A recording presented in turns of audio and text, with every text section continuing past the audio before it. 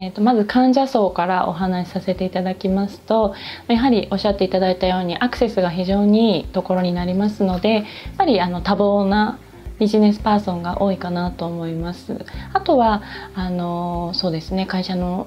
まあ、社長の方ですとか起業家の方ですとかいろいろな業種の方がいらっしゃるんですけれどもやっぱり皆さん勤務中にあのここによってここ、また仕事先に行けるっていうこともあるということでそれであの仕事の合間を縫って来ていただいたりされる方が多いという印象ですね。あとはもちろん女性の方もすごく多くていらっしゃるのであの女性で働かれている方ももちろんそうですしあとはあのお子様連れの方ですとかはいあの、まそうですね。お仕事されてない方でもですね高齢者の方もよくいらっしゃっていただくのでそうですね。あの働いている方以外はそうですね。普通に個人としていらっしゃる方が多いですね。あとは海外の方も非常に多くいらっしゃってくださっております。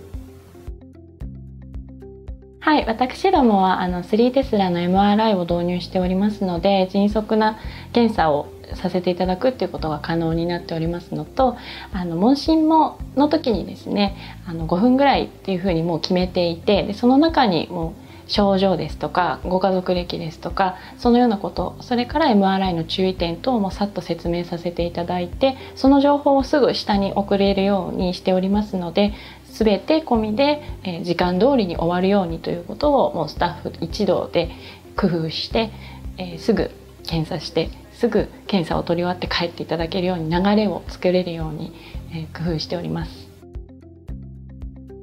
あの全て技師ですとかあとは看護師もそうなんですけれども女性スタッフですのであのやっぱりエコーの検査とかどうしても少しこう肌を見せなきゃいけない部分が多いですので女性の場合は抵抗がある方がいらっしゃると思いますがやっぱり同じ女性ということですとかあとあのうちの女性のスタッフはその中でもこうなるべく肌を露出させないようにですとかなるべくこう羞恥心をあの隠すように配慮して検査にご案内しておりますので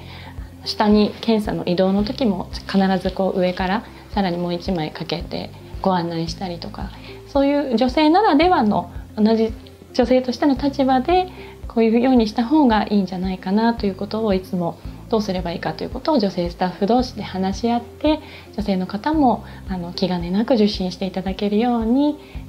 いつも相談しております。私どもは多くの方々に一日一日を元気に過ごしていただきたい。そう考えております。お忙しい方にも一人一人に合わせた人間ドックの提供を目指しております。